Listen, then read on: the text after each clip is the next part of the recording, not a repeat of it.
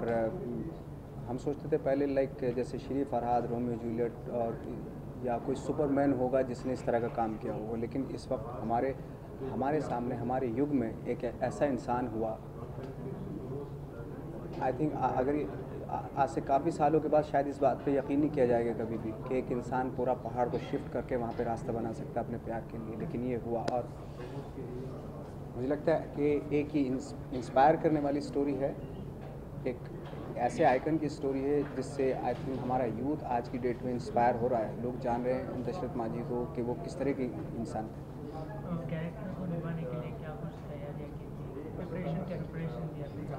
देखिए प्रिपरेशन तो जब होती है तो बहुत सारी चीज़ें ऐसी होती है प्रिपरेशन के दौरान कि जहाँ आप अपनी कैरेक्टर को करने के लिए अपनी लाइफ से अपनी लाइफ से रिलेट करते हैं अपनी लाइफ के कुछ पन्नों से। रिलेट करते हैं उस चीज़ को। तो मुझे भी एक चीज़ का पैशन था कि एक्टिंग एक्टिंग का पैशन था पागलपन था। तो कहीं ना कहीं वो एक तो वो काम आया। दूसरा आपके डायरेक्टर होते हैं आपके साथ कि वो बताते हैं आपको आ, आपको गाइड करते हैं कि इस, इस रोल को ऐसे किया जाए। तीसरा ये था कि हम उनके गाँव में गए थे। और वहाँ जो लोगों ने बताया उनके बारे में वो किस तरह के इंसान थे वो बहुत उसने बहुत हेल्प किया इस कैरेक्टर को करने में। जैसे कि ऑडियंस को अभी तक मांझी के बारे में पता नहीं था तो आपको जब इस फ़िल्म ऑफ़र की गई तभी आपको कितना कुछ पता था मांझी के बारे में? देखिए मुझे थोड़ा बहुत पता था। मुझे इस इतना मालूम था कि एक आदमी ने पहाड़ तोड़ दिया बाईस साल में हैमर और चिजल की हेल्प से और वहाँ पे रास्ता बना दिया इतना पता था। लेकिन अपने प्यार के लिए क्या ये मुझे मालूम नहीं था। आ, बाद में जब पता चला तो वाकई एक ताज्जुब हुआ कि ऐसा कोई कैसे कर सकता है? कितना जुनून होगा कितना पागलपन होगा उस इंसान के अंदर?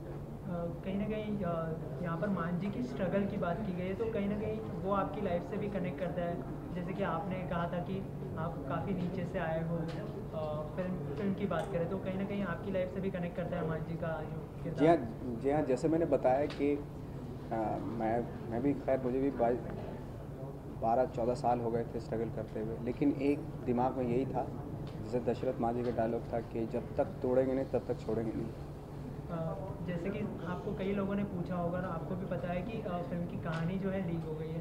तो उसके लिए क्या रिएक्शन होगा आपका? क्योंकि फ़िल्म ऑडियंस तक ऑलरेडी पहुँच चुकी है तो आप कितना अफेक्ट पड़ने वाला कितना अफेक्ट होगा और कितना मायने रखता है? देखिए मैं तो सिर्फ़ इतना कहना चाहता हूँ कि ये ये जो कहानी है ये जो फ़िल्म है ये छोटे से लैपटॉप पे नहीं देखी जा सकती।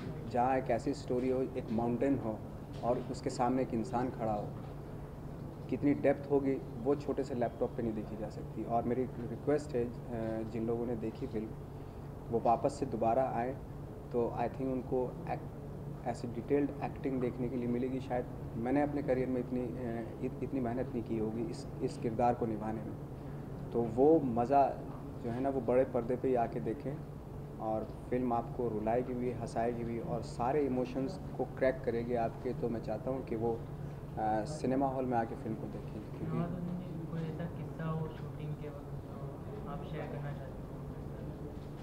बहुत सारे किस्से हुए शूटिंग के दौरान एक तो बहुत डिफ़िकल्ट किस्से भी हुए और बहुत फ़नी भी थे राधिका आपटे हैं इसमें और उनके साथ काम करने का बड़ा अच्छा एक्सपीरियंस रहा। जैसे सर ने उनको कास्ट किया, इस बेस पे किया था कि एक ऐसा फेस होना चाहिए जो अर्बन भी लगे अर्दी और रॉनेस भी होनी चाहिए, लेकिन इतना सेंसस भी हो कि उसको देख के पहाड़ तोड़ा जा सके, ऐसा फेस होना चाहिए। तो जब कास्टिंग की उसकी जब जब मैं पहाड़ तोड़ रहा होता था, मेरी शूटिंग चल रही होती थी तो तब मैं सर को बोलता था, मैंने राधिका को भी बुला लो। तो सर ने कहा कि, भाई, उसका तो शूट नहीं है आज। मैंने ऐसे ही बुला लो, उसको देख के पहाड़ तोड़ना बड़ा अच्छा लगता है। तो उस तरह का फेस है। तो उनके साथ काफ़ी इंसिडेंट होते थे काफ़ी अच्छा रहा क्योंकि बहुत पैशनेट लव स्टोरी है। आप जब देखेंगे तो बहुत ही बहुत ही इंटरेस्टिंग और अलग तरह की लव स्टोरी है इसमें। नवाज़ भाई ऐसा माना जाता है कि हर फ़िल्म के बाद एक्टर में एक तरह का बदलाव आता है। तो इस फ़िल्म के बाद नवाज़ ज़िंदगी में किस तरह का बदलाव हम देख पाएँगे? एज एन ऑडियंस भी लोगों की एज एन ऑडियंस मतलब बदलाव आई थिंक मतलब खुद के अंदर तो नहीं आता। मैं, मुझे नहीं लगता हाँ एज एन एक्टर आप मेच्योर होते चले जाते हैं एक्सपीरियंस होता चला जाता है, आपको धीरे धीरे नॉलेज होती चली जाती है, जो आप आज कर रहे हो, शायद कल ना करें, कल दूसरे तरीके से करें। तो ये बदलाव आता है। बाकी रियल लाइफ में तो मैं वैसे ही आज, जैसा आज से दस बारह साल पहले था, ऐसे ही अभी भी हूँ। मेरे अंदर तो कोई ऐसा बदलाव आने के मुझे आसार नज़र नहीं आ रहा एक्चुअली नवाज़ सर जैसे कि आपने ऑडियंस से अपील की कि वो थिएटर में आकर देखी है फ़िल्म और हम चाहते हैं कि वो आकर देखें लेकिन ये पता चला आपको कि किसने लीक की थी या फ़िल्म इस बारे में कुछ? देखिए वाईकॉम हमारे डिस्ट्रीब्यूटर्स हैं वो कर रहे हैं लीगली जो भी एक्शन लिया जा सकता है वो कर रहे हैं। नवाज़ सर कोई अपकमिंग प्रोजेक्ट मांझी के अलावा अगर आप हमारे साथ शेयर करना चाहें। जी मैं अभी इसके बाद सिर्फ़ अ, मैं एक फ़िल्म कर रहा हूँ रईस जिसका एक शेड्यूल हो चुका है। सेकंड शेड्यूल उसका अक्टूबर में शुरू होगा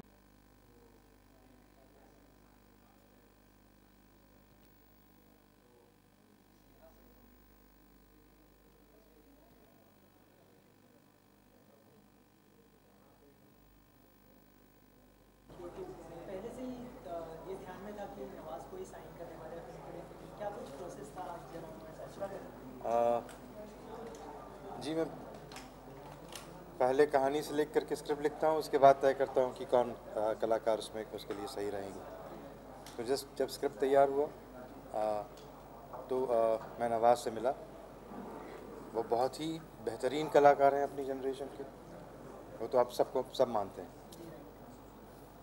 और आ, उनका कदकाठी भी जो है दशरथ मांझी के साथ साथ बिल्कुल मिलता था। और उनकी आँखों की इंटेंसिटी जो है वो भी इस किरदार के लिए बहुत ही ज़रूरी थी। तो वो तो फ़ौर तय हो गया कि उन- उनको मिलते ही ये लगा कि जो है वो सही है दशरथ मांझी का रोल निभाने के लिए। और स्क्रिप्ट आपके जहन में कैसे आपके पास है स्क्रिप्ट 2007 में जब दशरथ मांझी जिनके जीवन पर ये फ़िल्म आधारित है अ, उनका देहांत हुआ तो अ, कई मैगजीन्स और न्यूज़पेपर्स के अंदर उनके बारे में खबर छपी थी कि एक ऐसा आदमी है छोटे से गाँव का बहुत दूर के गरीब गाँव का गरीब इंसान जिसने कुछ असंभव को संभव करके दिखा दिया। एक पहाड़ तोड़ के रास्ता बना दिया वो भी सिर्फ़ अकेले और हथौड़ी छनी के ज़ोर पर। अपनी ज़िंदगी के 22 साल लगा दिए पहाड़ तोड़ के रास्ता बनाने में और वो भी प्यार की खातिर। जब ये पढ़ा तो इतना ताजुब हुआ आ, कि लगा कि तो जाके देखना पड़ेगा कि असल में क्या है। और जब आ, मैं उनके गाँव गहलोर गया बिहार में। और उस पथरीले पहाड़ को देखा और उसमें उसको काट के जो रास्ता बनाया वो देखा। तो पहले तो यकीन ही नहीं हुआ कि कोई आदमी ये सोच भी सकता है इसको करने के लिए। करने की बात तो अलग है। और तब लगा कि ये तो इतनी इंस्पायरिंग कहानी है कि इस पर फ़िल्म बननी ही चाहिए और इसको जितने लोगों तक पहुँचाया जा सके, पहुंचाना चाहिए। क्योंकि इ- आज इस देश को ऐसे इंस्पिरेशन की ज़रूरत है इतने पॉजिटिव एनर्जी की ज़रूरत है और ऐसे रोल मॉडल्स की ज़रूरत है कि एक आम आदमी एक ऑर्डिनरी आदमी जिसने एक्स्ट्रा ऑर्डिनरी काम करके दिखा दिया। फ़िल्म जो है काफ़ी बड़ी थी और शूट करने में भी काफ़ी समय लगा होगा। सर आपका ऐसा कोई मूवमेंट जो आपको बहुत पसंद हो फ़िल्म में? ऐसा कोई सीन आ, सारी फ़िल्म उसी जुनून के साथ बनी है।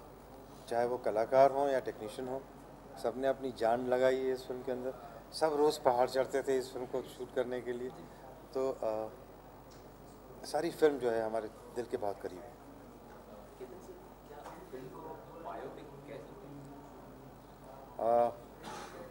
हाँ मतलब एक आदमी के जीवन पर आधारित ये फ़िल्म ज़रूर है। आ, पर सिर्फ़ एक आदमी के जीवन पर आधारित नहीं। ये कहानी है एक ऐसे आदमी की जिसने असंभव को संभव संभव करके दिखाया। और ये कहीं ना कहीं कहानी है आज़ादी के बाद के भारत की भी। जो और ये दोनों की जुगलबंदी जो है वो पूरी स्क्रिप्ट सर ऐसी जब आप स्क्रिप्ट लिखते हैं तो मतलब हमने देखा है कि आप ज़्यादा करके बायोपिक ही करते आ रहे हैं। तो ऐसी कोई थॉट प्रोसेस है इसके पीछे कि बायोपिक करना है और हिस्टोरिक स्टोरी पर ही आप फ़िल्म बनाते हैं ज़्यादा करके तो उसके पीछे क्या थॉट प्रोसेस है आपका? मैंने बारह फ़िल्में बनाई हैं अभी तक। उसमें से ये चौथी बायोपिक तो ऐसा नहीं है कि मैं सिर्फ़ बायोपिक बनाता हूँ पर आ, पिछली तीन फ़िल्में बायोपिक रही हैं। पर क्योंकि ये कई बार लगता है कि fact is stranger than fiction हकीकत जो है वो किसी कहानी किस्से से भी अजीब होती है। अगर मेरे को मुझे कोई आके कहता है कि मैं स्क्रिप्ट लेके आया हूँ जी फिक्शनल स्टोरी है कहानी है मेरे इमेजिनेशन से कि एक आदमी ऐसा है जिसने प्यार में बाईस साल लगा के अपनी पहाड़ तोड़ दी। तो मैं कहता, कोई यकीन नहीं करेगा भाई ऑडियंस जो है हंस के आपको भगा देगी। पर जब लगता है कि ये तो हकीकत है, ऐसा सचमुच हुआ है तो झटका लगता है कि हम भी ये कर सकते कि हर हम सब में कहीं ना कहीं एक दशरथ मांझी है जो इम्पॉसिबल को पॉसिबल बना सकता है। उसके लिए चाहिए क्या? अपने आप पे भरोसा चाहिए? और अब और कुछ कर गुजरने की का जज्बा चाहिए हिम्मत चाहिए ज़रा सी और कमिटमेंट चाहिए। जैसे कि हमने नवाज़ से भी पूछा था कि फ़िल्म जो है लीक हो गई ऑडियंस के बीच में। तो उसके लिए आपने अपनी तरफ़ से क्या एक्शन लिया है? इस चीज़ के लिए? मैं और नवाज़ तो भारत भ्रमण कर रहे हैं सारे सारे देश में इस वक्त। शहर शहर जाके फ़िल्म को प्रमोट कर रहे हैं। वायाकॉम 18 जो है वो डिस्ट्रीब्यूट कर रहा है फ़िल्म। और वो उन्होंने जो जो ज़रूरी जो जो जो हो सकता है वो वो कर रहे हैं वो लोग। हम तो बस ये मानते हैं कि हमने बड़े जुनून के साथ ये फ़िल्म बनाई है और अब ये ऑडियंस तक पहुंचनी चाहिए। आ, ये फ़िल्म ऐसी एक पहाड़ के सामने एक आदमी की कहानी है। एक इतना बड़ा स्केल है इस फ़िल्म का। उसको अगर आप अपनी गोद में लैपटॉप पे देखना चाहते हैं तो आ, आ, मैं क्या कह सकता हूँ? फ़िल्म का सिनेमा का एक्सपीरियंस जो है वो बड़े स्क्रीन पे बहुत ही अच्छा रहेगा। इंडिपेंडेंस डे आने वाला है तो आपके लिए फ्रीडम क्या है फ्रीडम को आप कैसे डिफाइन करते हैं? फ्रीडम के कई पहलू होते हैं। हम लोगों ने उन्नीस सौ सैंतालीस में राजनीतिक आज़ादी पाई। उन्नीस के अंदर कहते हैं कि आर्थिक आज़ादी मिली हम, हमने पाई। तो और अब लगता है कि कहीं ना कहीं दिलो दिमाग की आज़ादी की ज़रूरत है। हमें अपने पुराने सारे ख्याल छोड़ के अपने आप को री करना है। So it is time to liberate our minds